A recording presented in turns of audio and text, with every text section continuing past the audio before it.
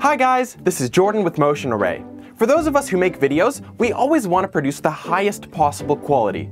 But there's times in the editing process that all that's going through our mind is, wow, what was I thinking? This shot looks terrible. If that's ever been you, the solution is reshoot. Just reshoot your footage. But there are times when you can't, like when you had one opportunity to shoot with a client and now they're gone, like they're on a plane flying to somewhere else. That's actually happened to me before. If that's you and you can't reshoot, I want to share with you five quick ideas on how you can make bad videos look good, or at least better. Number one, out of focus video. Now, unless you have access to some crazy new upcoming camera equipment, you're not going to be able to choose your focus after the fact. But there are ways in editing that you can make it less noticeable. There's two different kinds of out of focus video that we're talking about. There's soft when your subject is discernible, but they're not really tack sharp.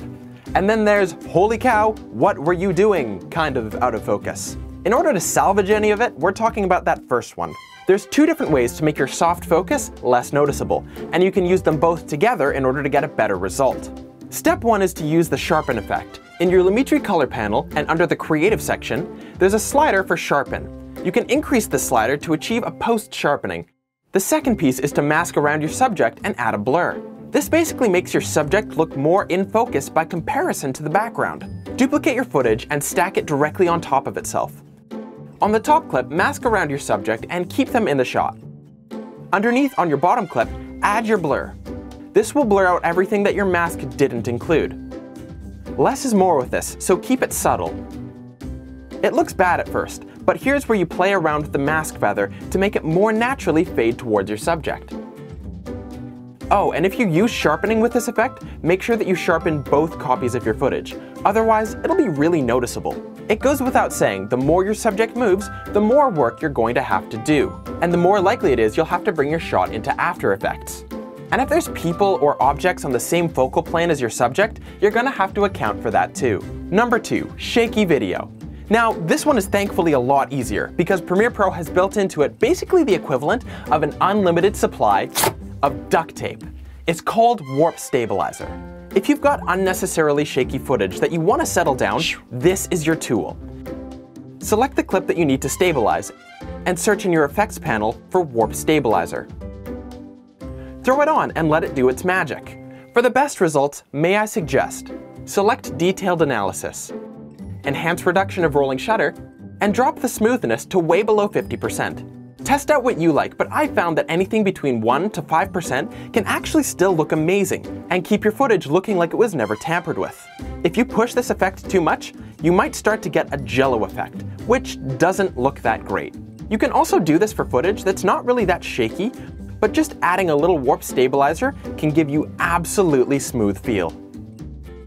Number 3. Overexposed video. This is one of the things that can give you the most trouble in the editing room. It's less because it looks kind of bad, and more so because when you overexpose a shot, what's happening is that your camera sees everything that's white as just that, pure white. Everything else in the shot has information that can be manipulated, raised and lowered and nuanced, but your overexposed sections are permanently white. Forever. Unless they're not. Your mileage may vary, but here's what to do with an overexposed shot.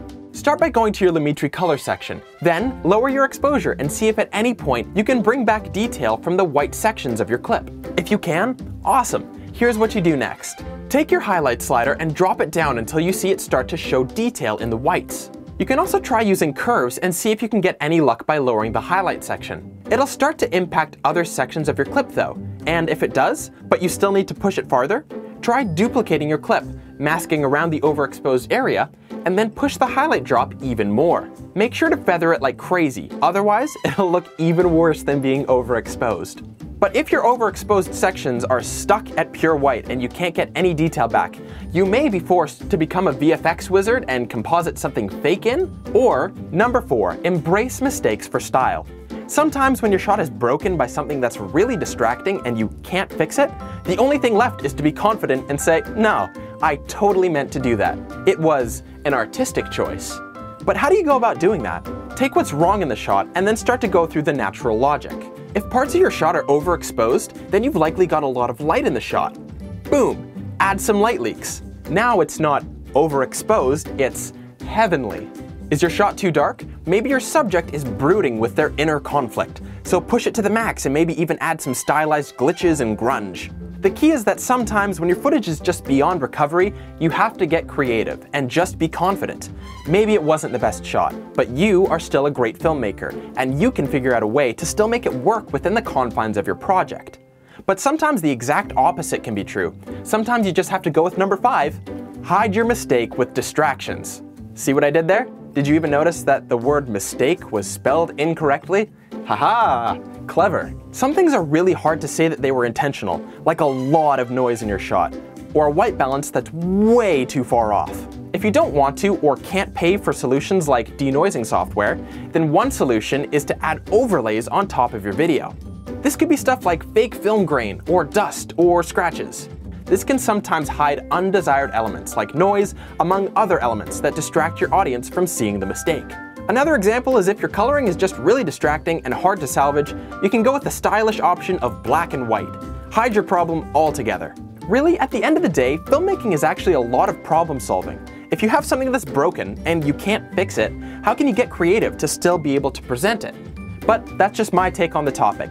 Those are my five ideas on how you can fix bad or broken footage. I hope you guys found this video helpful. If you did, then we got tons of other tutorials over at motionarray.com. Thank you so much for watching, and I hope to see you in the next video.